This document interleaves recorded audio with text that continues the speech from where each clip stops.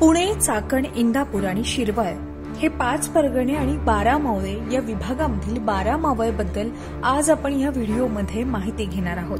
तर हा व्हिडिओ शेवटपर्यंत नक्की पहा. सह्याद्रीच्या मुख्य रांगेला पूर्वेकडे अनेक लहान लहान शाखा फुटल्या.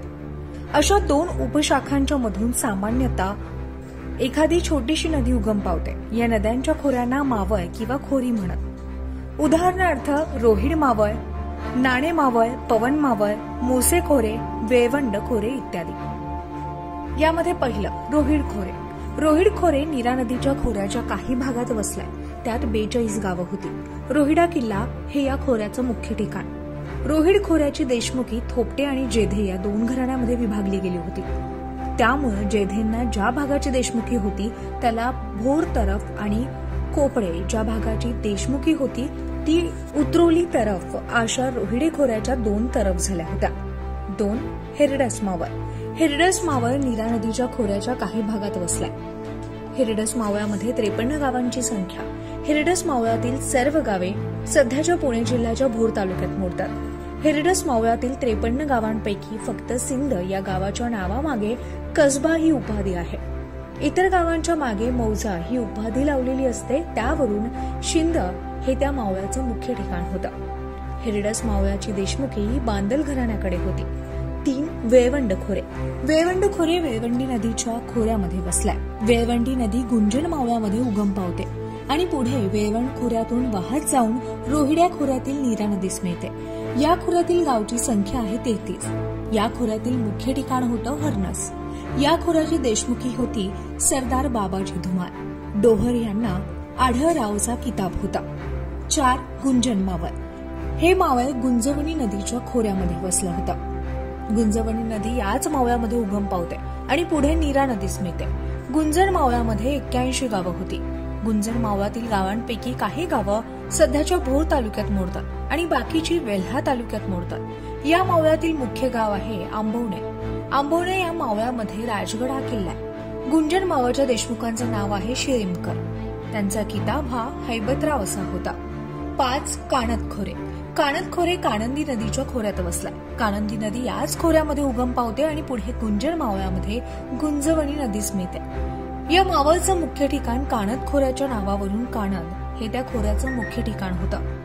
तोरणा किल्ला हा कानद मावळातील कानद खोऱ्याच्या देशमुखांचा आडनाव आहे. मरळ यांचा किताब होता झुंजारराव. सहा मोसेखोरे मोसेखोरे मोशी नदीच्या खोऱ्यात वसला. ही नदी मोसे खोऱ्यातच पुढे मोठ्या नदीस मिळते या मावळ्यातील गावची संख्या आहे ब्याऐंशी. या मावळ्याचे मुख्य ठिकाण आहे मोसे बुद्रुक मोसेखोराची देशमुखी होती पासलकर यांच्याकडे आणि त्यांचा किताब होता यशवंतराव. सात मुठा खोरे मुठा खोरे हे मुठा नदीच्या उगमापासून काही अंतरावर तिच्या खोऱ्यात वसलाय मुठा नदी पुढे मोसे खोऱ्यातून आणि कर्यात मावळ्यातून वाहत जाते आणि पुणे परगण्याच्या हवेलीतर्फे मुळा नदीस मिळते मुठा खोऱ्यातील गावची संख्या होती एकोणवीस. मुठा खोऱ्यामध्ये एकही केला नाही. मुठा खोऱ्याचे देशमुख होते मारणे आणि त्यांचा किताब होता गंभीरराव आठ पौडखोरे. पौडखोरे मुळा नदीच्या उगमापासून काही अंतरापर्यंतच्या खोऱ्यामध्ये वसला. पौड खोऱ्यातील गावची संख्या होती ब्याऐंशी. या खोऱ्याचं मुख्य ठिकाण होतं पौड. पौड खोऱ्यामध्ये घनगड आणि कोरीगड हे दोन किल्ले येतात. पौड खोऱ्याची देशमुखी होती ढमाले यांच्याकडे. आणि त्यांचा किताब होता राऊतराव. नऊ. पवन मावळ. पवन मावळ पवना नदीच्या खोऱ्यामध्ये वसला. पवना नदी पुढे मुळा आणि भीमा नदीला मिळतं. पवन मावळाच्या दोन तर्फा आहे. त्यापैकी शिंदे तर्फेची देशमुखी शिंदेकडे होती. तिच्यामध्ये सदतीस गावं होती. आणि घारे तर्फेची देशमुखी ही घाऱ्या नसून तिच्यामध्ये त्रेचाळीस गावं होती. या मावळचे मुख्य ठिकाण सांगता येत नाही. पवन मावळची देशमुखी ही दोन घराण्यांकडे आहे. शिंदे देशमुखांचा विशिष्ट असा किताब होता की नाही हे माहिती नाही. दुसरे देशमुख घारे यांचा किताब होता भूपत्रा. दहा नाणे मावळ. इंद्रायणी नदीच्या उगमापासून काही अंतरापर्यंतच्या तिच्या खोऱ्यात नाणे मावळ वसलाय. इंद्रायणी पुढे भीमा नदीला मिळते. नाणे मावळामध्ये एक्क्याऐंशी गावांची संख्या नाणे मावळामध्ये लोहगड विसापूर आणि राजमाची हे किल्ले नाणे येतात. या मावळाचं मुख्य ठिकाण हे नाणे. हेच नाणे मावळाच्या नावावरनं पडलं. या मावळची देशमुखी गरुड आणि दळवी यांच्याकडे होती. अकरा खेडबारे. खेडबारे हे शिवगंगा नदीच्या खोऱ्यात वसलाय. ही नदी सिंहगडच्या दक्षिणेस उगम पावते आणि सध्याच्या पुणे सातारा रस्त्याच्या पश्चिमेस त्या रस्त्याला साधारणपणे समांतर अशी वाहत पुढे गुंजवणी नदीस मिळते गुंजवणी पुढे नीरा नदीस मिळते खेडबरे मावळातील गावांची संख्या आहे बेचाळीस.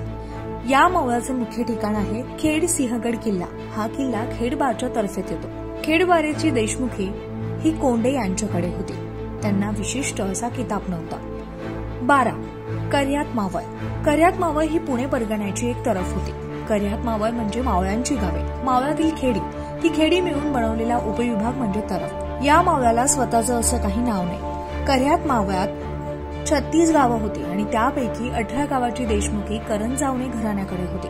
आणि अठरा गावची देशमुखी पायगुडे घराण्याकडे होती. करंजावणे देशमुखांचा किताब भालेराव असा होता आणि पायगुडे देशमुखांचा किताब रविराव असा होता.